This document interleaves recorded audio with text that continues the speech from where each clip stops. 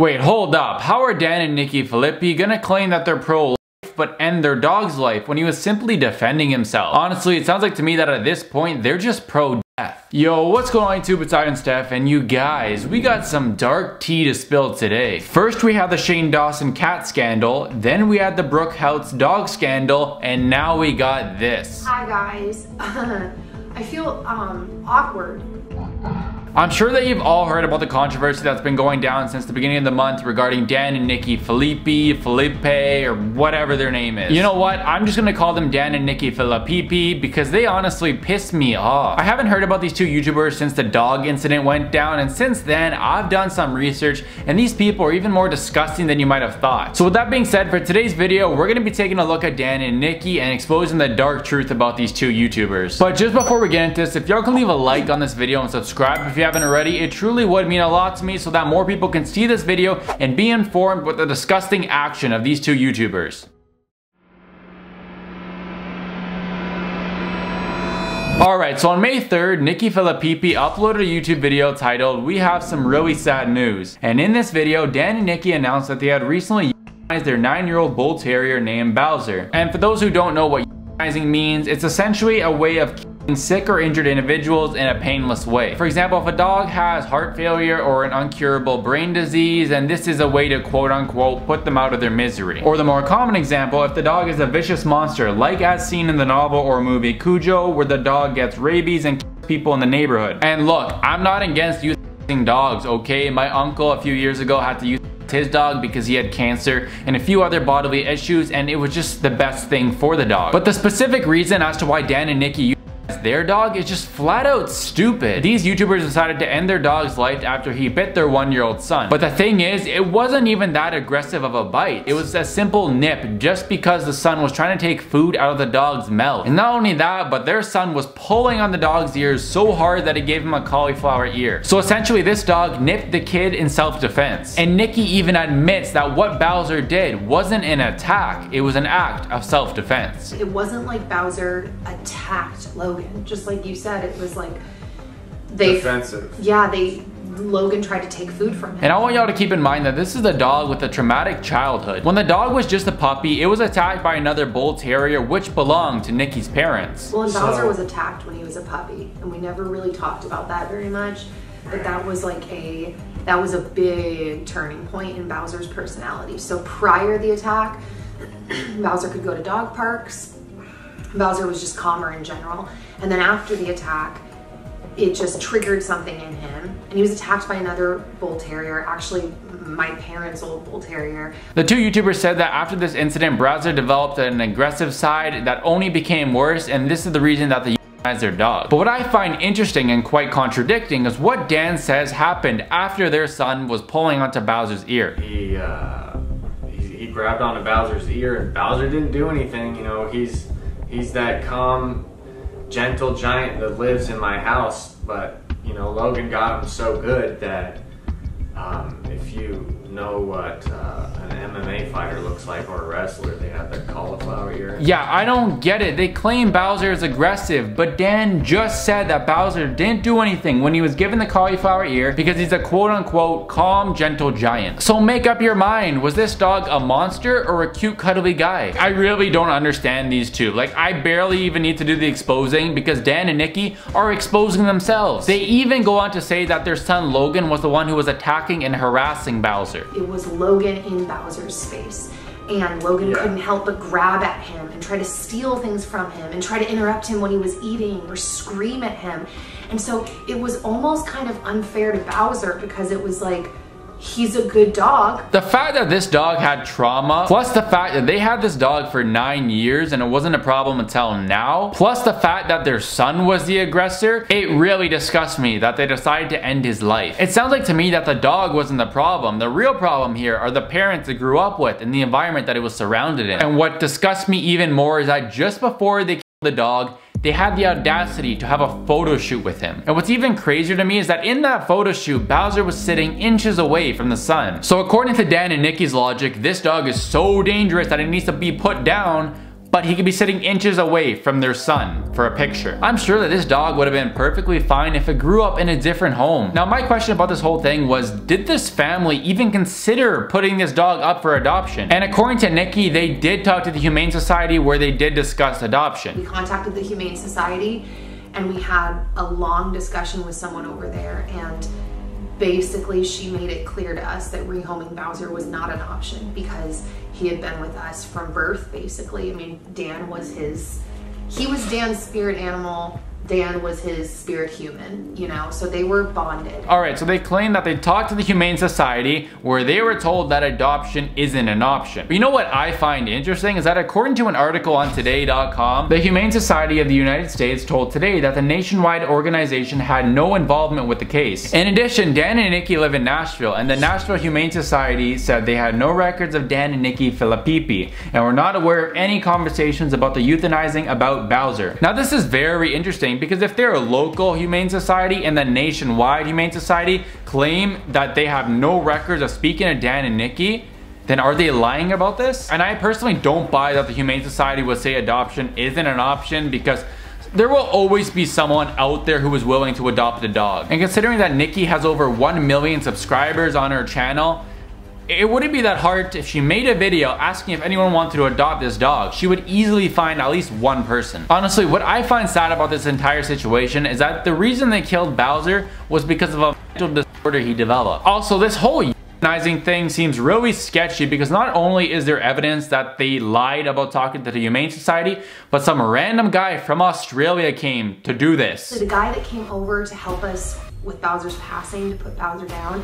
He's from Australia. Honestly, to me, that sounds like some hit type of shit. Like they're from Nashville, they're from America. Why couldn't they find someone local to do this? Probably, I should know for a fact, because it's morally wrong. Another thing that seemed really sketchy to me is the amount of times that you would fake cry in that video. I want y'all to look at this clip and pay close attention to Nikki's facial expressions. When you make that kind of a decision or you make the appointment,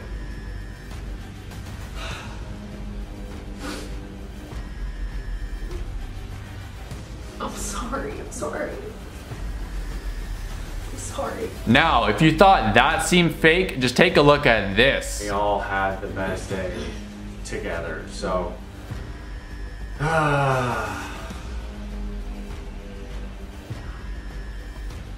Yeah, so Wow, if that doesn't scream go, I don't know what does. I'm actually really pissed off about this situation because if Dan and Nikki were better parents, seeked psychological help for the dog, and prevented their one-year-old son from attacking it, this all would have been avoided. I also found a video from over two years ago of Dan taunting Bowser. Oh my god.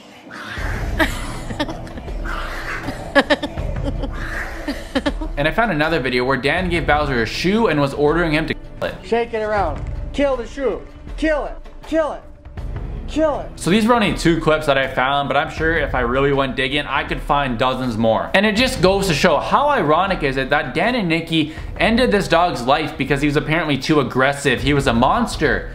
But they're the ones who raised them to become this way. They had this dog for nine years and it seems like their son was the problem in this situation. Honestly, I've never heard about these two YouTubers until this situation went down. But since then, I've done some more digging and like I said, these two are even more disgusting than you might think.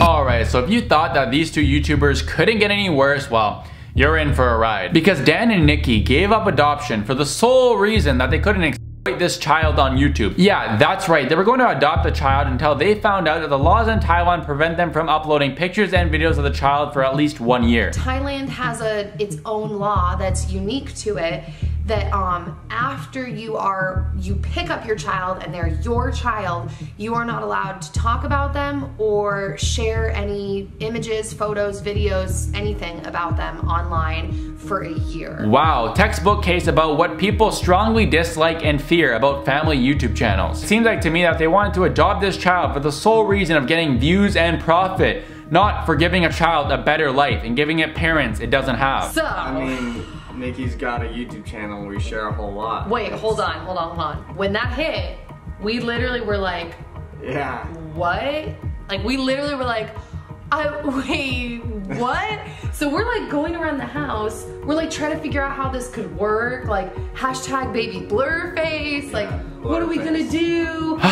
I really don't understand these two. Like, it's just one year. One year, they can't put this child on the internet, and that's apparently a big issue for them. I'm about 20 years old. I've had a mom my whole life. Have I put her on my YouTube channel? No. And I've done just fine. I think if I haven't put my parents on my YouTube channel my whole life, these people can manage not putting a baby, a literal child, for one year on their platform. Anyways, after this all went down, they looked into adopting a child from Korea. However, their adoption agency told them that because of their huge social media presence, they wouldn't easily be approved. And now that I know why they didn't pull through with the adoption in Thailand and Korea, it makes sense to me why they decided to have a photo shoot with Bowser before they ended his life. It's actually disgusting. YouTube and this online platform that Dan and Nikki has has corroded their brains and has only made them see views, money, and that's it. And it seems like their first priority with everything is, will this get views? How much money will we get out of it? Obviously, social media is their job and I understand that, but there is a certain point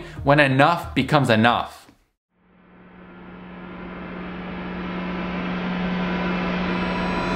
Alright, so I want to address a few more things, but for the sake of not making this video way too long, I'm gonna go through them kind of quick. In addition to Nikki wrongfully putting down her dog and wanting to adopt a child for the purpose of education, it turns out that she's an anti-vaxxer and anti and look, I completely understand that everyone has different opinions when it comes to this sort of stuff because regarding anything in the world, there's always a good side and a bad side. But Nikki's been spreading some information which really could be detrimental to children and teenagers watching her videos. In one video titled My Virus Story, she explains a virus that she had about 15 years ago when she was in high school and how she recovered from it taking in high doses of vitamin C. And essentially in this video, she's trying to explain to everyone that instead of getting the vaccine for 19 to take in high doses of vitamin C. I so believe in vitamin C high dose therapy. I have personal experience and you guys know how it is. Once you have personal experience with something working, you're like, no one can tell me differently. And so if you are someone that's just sick with anything or you end up coming down with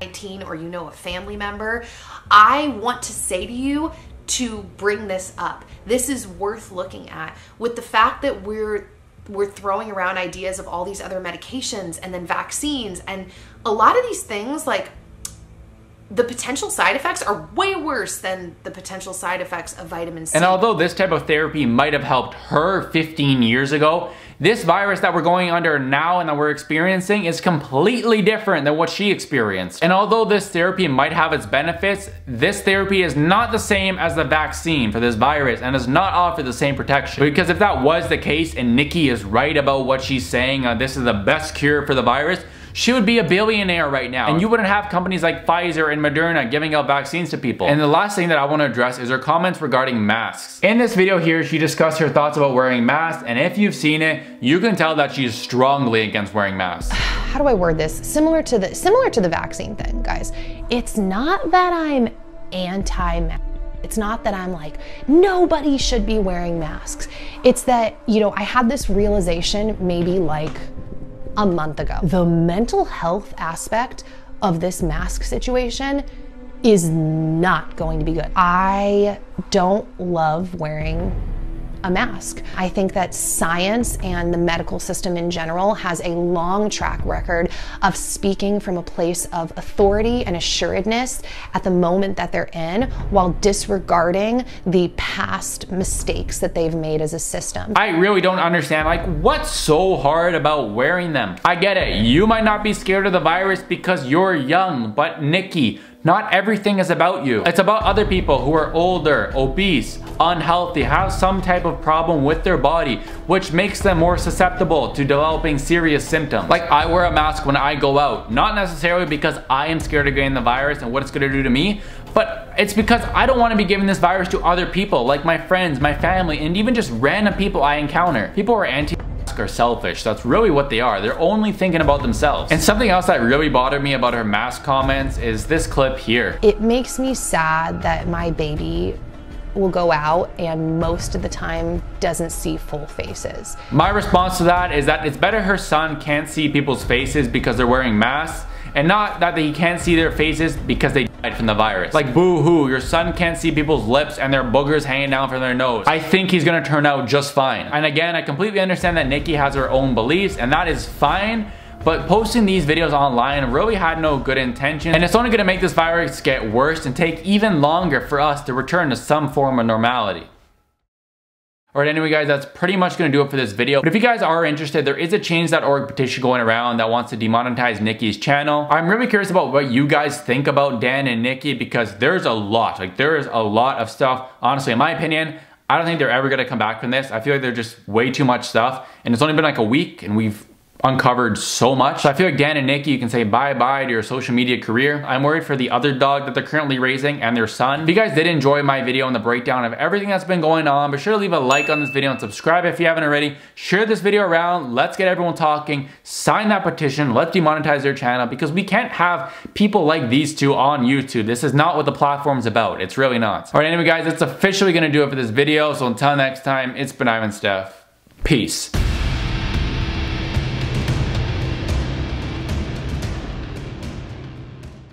Philippipi, that's that's actually kind of a funny one. I'm not gonna lie. I feel like I'm five, but it's still funny.